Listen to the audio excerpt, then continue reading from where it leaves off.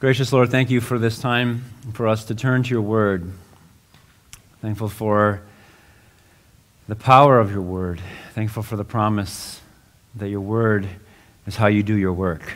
And so, Lord, we invite you to come into each heart and mind here now, setting aside our distractions, things from the week, giving us pause and clarity for the work you desire to do in us. In Jesus' name, amen. Well, we are on week five of our core series. Again, this core series is just focusing on the foundations of our faith. And today we, we embark on the second half of the most important event in the history of the world. Last week we talked about the cross, the death, how Jesus suffered, he was crucified, he was died, and he was buried. The death of Christ. And we analyzed the why of the cross, why it happened, and the what of the cross, what, what took place this ugly truth and yet beautiful truth. And yet it's only beautiful because of what it's connected to today. And so our statement goes like this We believe in Jesus, who on the third day again rose from the dead. Jesus alive, the resurrection. And yes, it is okay to talk about the resurrection when it's not Easter, right? That's okay. I know it might, might, might be hard. But it's a pretty significant matter because at the end of the day, if the resurrection did not take place, then none of us are Christians. Okay? Pretty simple. I mean that spiritually and I mean that historically. I mean, the church would not exist, period. And there'd be nothing for us to gather and celebrate. So if you are a Christian here today, it's because of the resurrection of Christ. So it's kind of a big deal. Kind of a big deal. So today we're going to pursue this and we're going to see what it is and how it's then meaningful for us. And we're going to do two main things we're going to look at and then check some application out. The resurrection was predicted, the resurrection happened, and then we're going to apply that and seeing then, because of the resurrection, what are we assured of? And that's really the application. So let's look at this. The resurrection was predicted, and I think this is a point oftentimes that we don't talk about that much within the church. I mean, everything that we are talking about here, it was planned. Everything.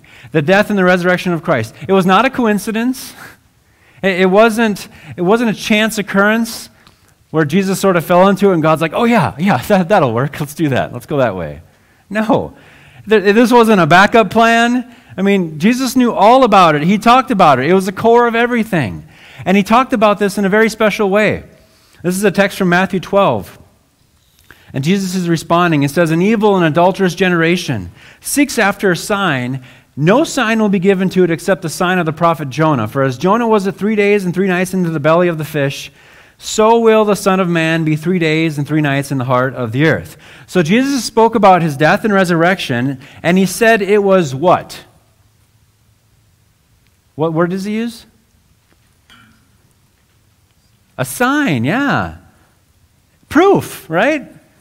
Who are you? Well, you're going to see a sign, the death and resurrection of Christ. It was a proof that he was Messiah. And this wasn't the only time he talked this way. Jews answered and said to him, What sign do you show us since you do these things? And Jesus answered and said to them, Destroy this temple, in three days I'll raise it. Jews said, It's taken us 46 years to build this temple, and you'll raise it in three days? But he was speaking of the temple of his body. When therefore he was raised from the dead, his disciples remembered that he said this, and they believed the scripture and the word which Jesus had spoken.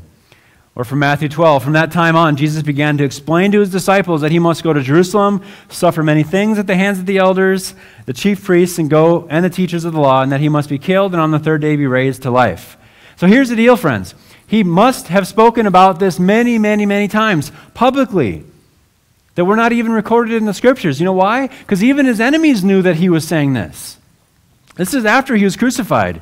The next day, which followed the day of preparation, the chief priests and Pharisees gathered together to Pilate, saying, Sir, we remember that while he was still alive, how the deceiver said, After three days I will rise.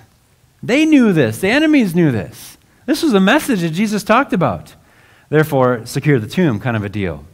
And so Jesus knew what was going to happen. The whole thing was predicted, it was part of the plan. And now, as we talked about a couple weeks ago, Jesus made a lot of extraordinary claims that he was God, that he was the giver of life, that he was Lord. And yet, it all comes to a head with this claim of the resurrection. People don't talk that way, right? This is kind of a big one. The final sign that Jesus said that will confirm and prove absolutely everything else that he had said and done before. We're going to come back to this and see why that is significant. So, so what actually happened? Did, did what he predict come true? Well, our answer comes to us through direct evidence, eyewitness testimony, and tons of circumstantial evidence. This is a text from Luke 24.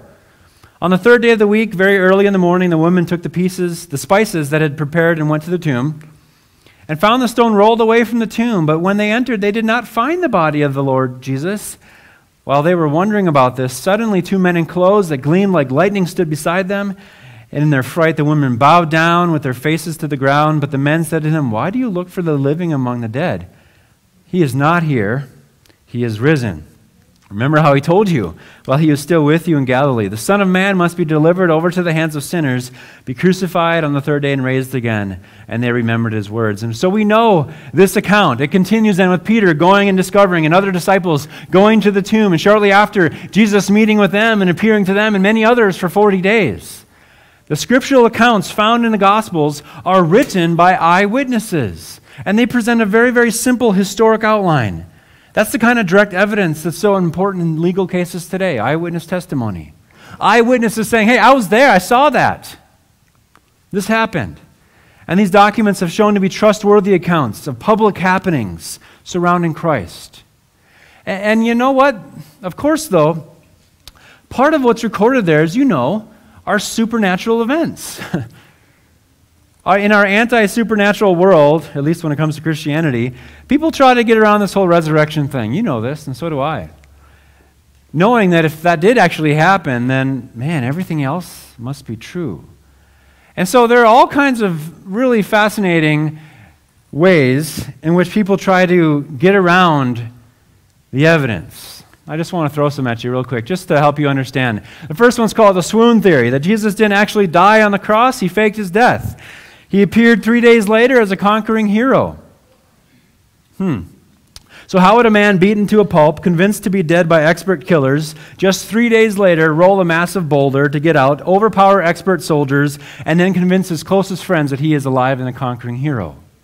Keep in mind that he had predicted his resurrection, so the authorities were not wanting that, and, well, ex- executioners are expert killers. If they failed, they were dead. So that doesn't seem to work. How about this one, the conspiracy theory? The disciples overpowered the guards, stole the body, and they made the whole thing up. Because you know, I mean, why not make up a new religion that's incredibly hard, totally unpopular, and sure to get you executed? right? How about this one? Disciples just thought they saw Jesus alive, just hallucinations, which might work if it's just one person, right? Not 40 days with large crowds. You know, last time I checked, hallucinations are private and they don't eat with you. How about this one?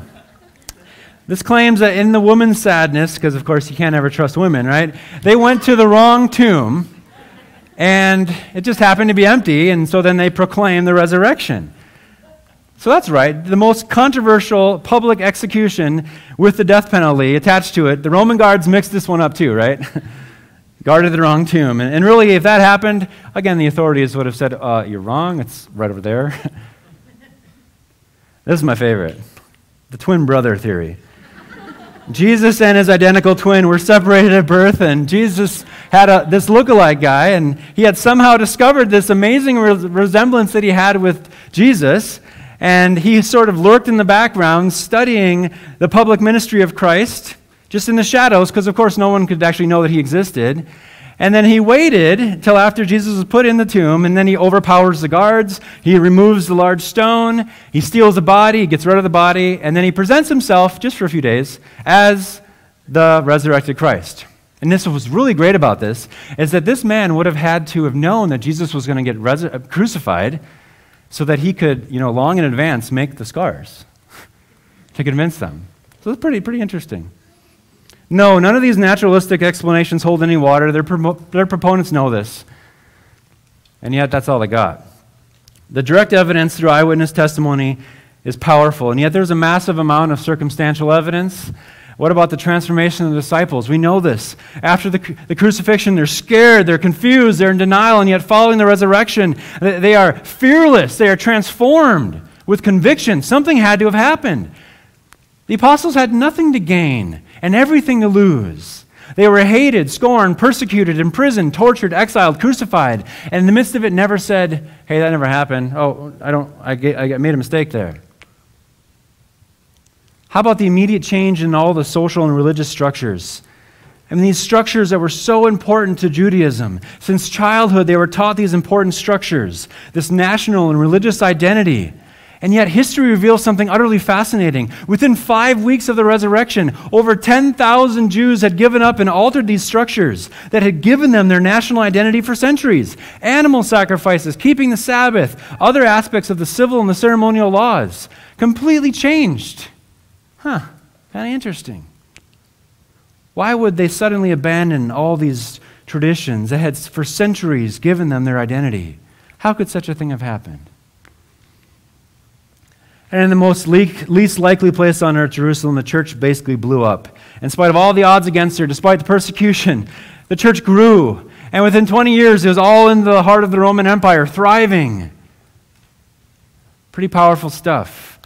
Yes, the direct evidence is strong, the circumstantial evidence is strong, and really the best explanation, really the only explanation of our evidence is indeed that Jesus rose. He conquered death, just like he predicted, just like he had planned. And praise God for that. Now, why is that significant? Why is it significant that Jesus predicted his resurrection and that he actually did rise from the dead? Why is that significant? What does it all mean? I, see, I think sometimes we don't really have an issue with believing that it happened. Okay, yeah, yeah, Jesus rose from the dead. I think sometimes where we struggle is then feeling, okay, what does this mean then? What, what does it actually mean for my life? And so the application of this is beautiful. Don't, don't let this pass you by this morning. The resurrection assures us of five things. Five things. And this is application that just goes right down into the heart. The first thing it assures us with is acceptance. So imagine um, an ambassador to the United States. Let's, let's, uh, let's say Nathan is our new ambassador for the United States. And his role is to go to places. Nathan likes to travel. And so his role is to go to places and represent the interests of our country, right?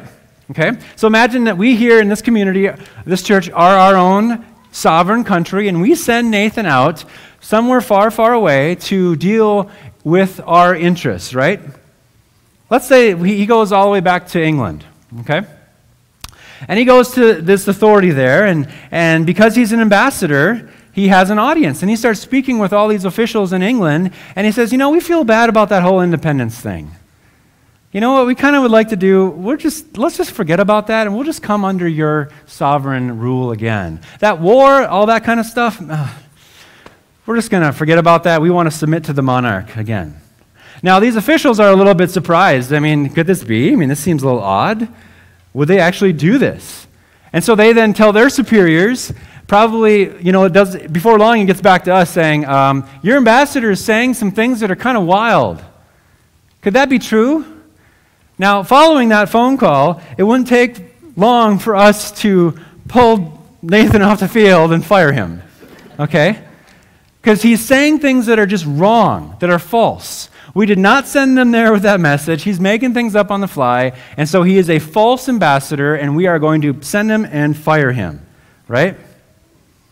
Our government would not put their stamp of approval on what he is saying.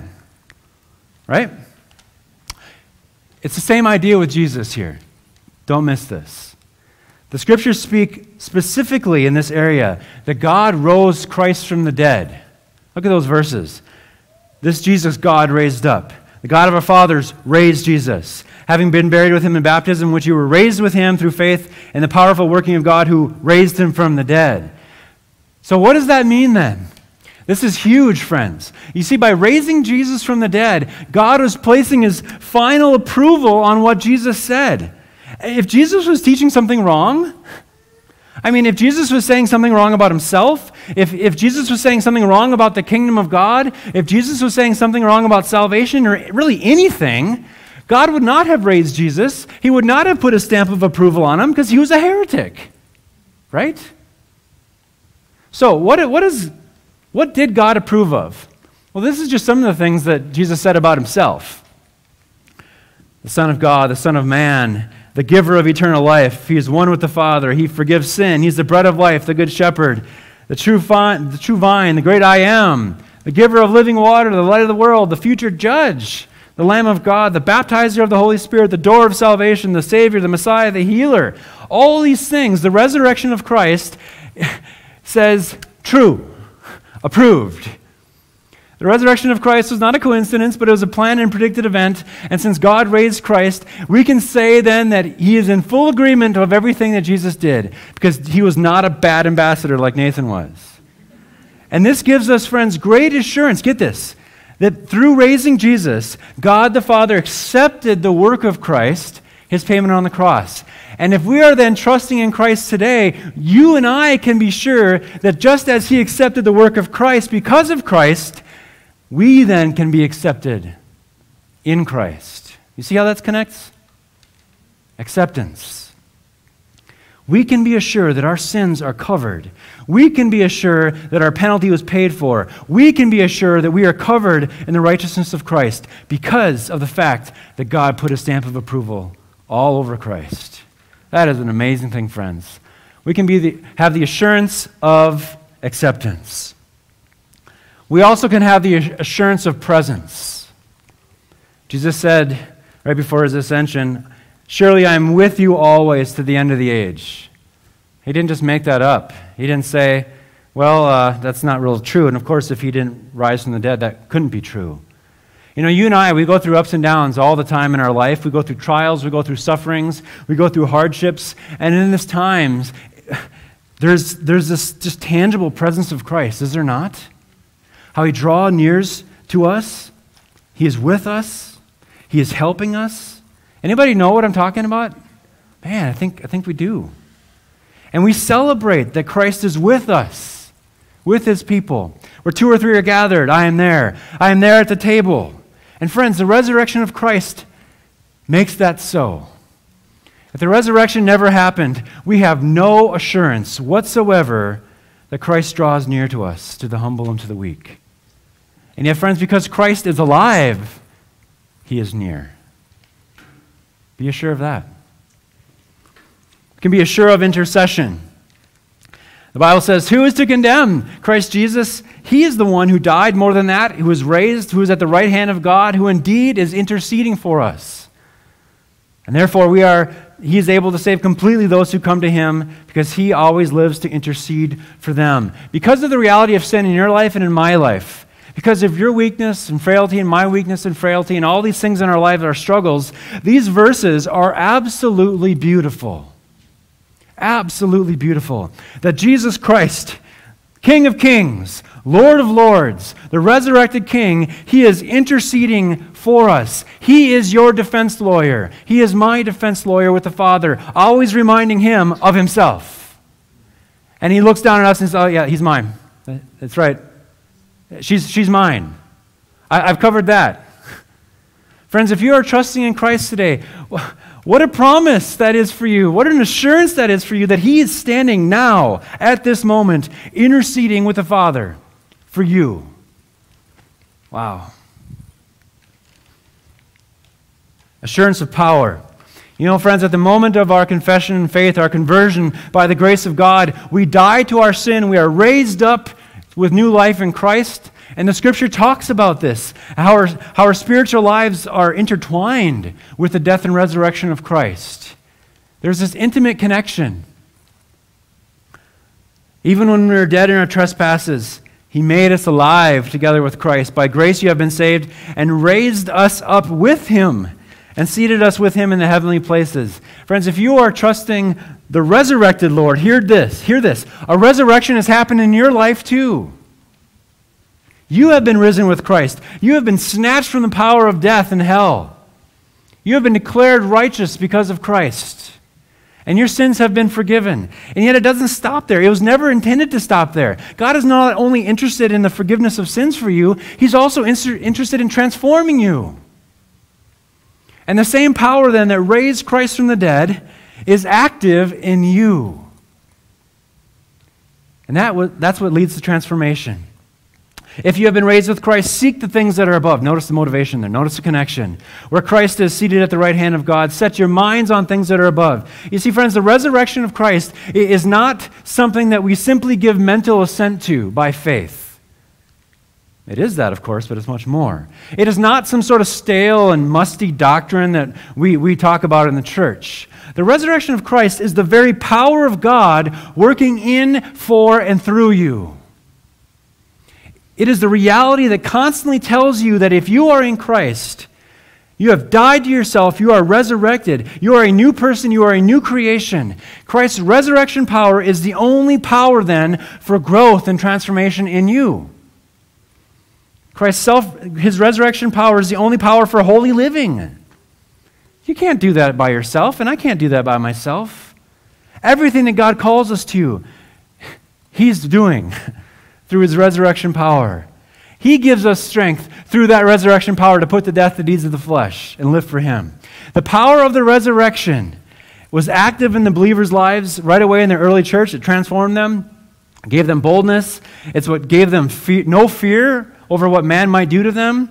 It's what transformed them from fear to fearlessness. And today, that same power of the resurrection of Christ is active in a believer's life. It is the only way possible for us to fight our own indifference, our own apathy, for us to be bold, for us to be on fire for God and stand in the face of adversity and not compromise. It is only through the resurrection power of Christ. And friends, if you trust the Lord today, it is so important for us to remember this. You have been raised with Christ. Jesus is alive today, and because of it, you are alive. The same power is living in you. The same power is the source of strength for you. Don't forget that. Don't let it pass right over you. And the last one it's assurance of hope. Being raised with Christ has even more significance than our spiritual resurrection. I mean, that's amazing. The power of Christ is not only at work in our life of faith, but friends, it's going to be at work in your death too. Because of Jesus, because of his resurrection, friends, the grave is not the end. The grave is not the end. We do not have to be terrified of death. The same power that rose Christ from the dead will also be at work in our resurrection. We'll get to that in about five weeks. It's a foreshadow. His res- resurrection is a foreshadow for you and I. It's a guarantee of our bodily resurrection to eternal life. Heaven a place of total perfection because Christ has risen from the dead, and through trusting in him, I will rise. Your loved ones will rise. No more afflictions, no more persecution, no more pain, no more suffering, but rather utter peace and perfection in his presence forever. Friends, I just gave you five powerful life giving, life transforming, life changing truths that we can be assured of because Christ is alive today. And that is the heart and the incredible beauty of knowing Christ. Uh, the fact that you and I, through faith in Christ, we can be accepted before God. We can have His presence with us in the ups and downs of life. We can be sure that He is interceding for us before the Father. And we can have His power working in us, changing us. And we can have the future hope of heaven assurance. No matter what you face in this life, no matter what I face, these assurances stand irrelevant to how you feel about them. They stand in Christ, and they're able to carry us and the more that we meditate upon those things, his resurrection and the reality of what it means, the more God's Spirit invigorates our faith. So if you are in Christ today, if you are trusting in Him today, that's for you. Look at that. That's for you. The assurances are for you.